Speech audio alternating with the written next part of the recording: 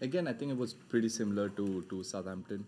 Um, Southampton was overall slow, but here was two pace. Few bounces were going through. So, um, and yeah, just it was two pace, so a bit more two pace. So I think that's why getting getting runs was harder for the new batsman. Batsman set could. Uh, had a better better chance of rotating the strike or getting the boundary options, which uh, unfortunately didn't happen. Said batsmen kept getting out, so it just became difficult. But um, I think on wickets like this, 260, 270 still becomes a good score. With the kind of batting we have, with the kind of firepower we have in the back end, we know that initially we can take a little bit of time and uh, um, the important thing, the, the plan is for the top three or top four, one of us to, uh, even if we take time, we, we're kind of players where we can make up later. So uh, we have that kind of confidence in the batting unit. So um, we don't mind taking that little extra time and with conditions being today was a slow wicket if we go to the next game there might be a bit of seam movement might be overcast so um, you know we need to be flexible in our heads we can't always say that one day cricket, flat wicket doesn't mean we get 360, 370. We need to be flexible.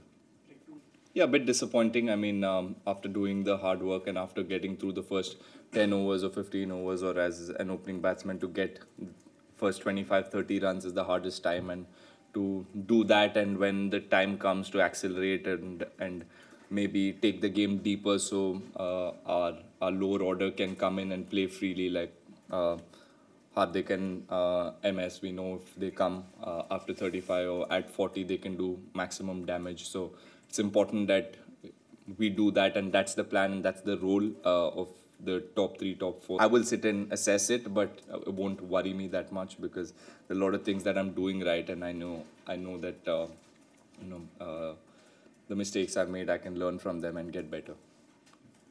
I mean, at at this level, I think you need to be ready for anything. And uh, uh, when you're playing for your country, you need to really have an open mind. And it's, it's not just it's not that it just happened. I know the you know Shikhar getting injured was unfortunate, and I had to go top of the order. But it, it not that I never prepared for opening the batting. In my head, the last um, one or two years, I have been preparing for whatever um, might be my role. I need to be ready and I need to prepare in, in, in that way. So um, I prepared, I had to prepare harder for number four because it's not where I've batted all my life. So I did that and now to come back to op opening the batting again, I mean, it just, um, it's a bit, bit more um, comfortable and easier for me because I batted there um, all my life. So um, I won't say it's easy or I won't say it's hard. We need to be ready, and that's the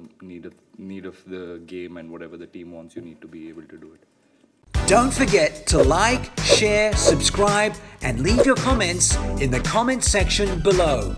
Click on the bell icon for notifications.